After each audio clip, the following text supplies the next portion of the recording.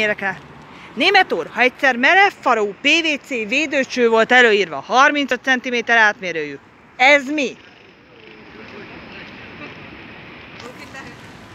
Ne, jó. Tehát én nem is üzemeltetek itt önkormányzatot. Nincs egy mérnökség, itt egy másodperc, nem azzal van a baj. Ilyeneket mondanak, hogy nem tudok írni, olvasni, egyik nap jön dolgozni, utána hat évig nem jön dolgozni. Ez mi? Mert utána szerencsétlen embereim, csak nem itt nincs olyan, majd mutatok elektromos szekrényt, ott érdepelnek, ott van egy.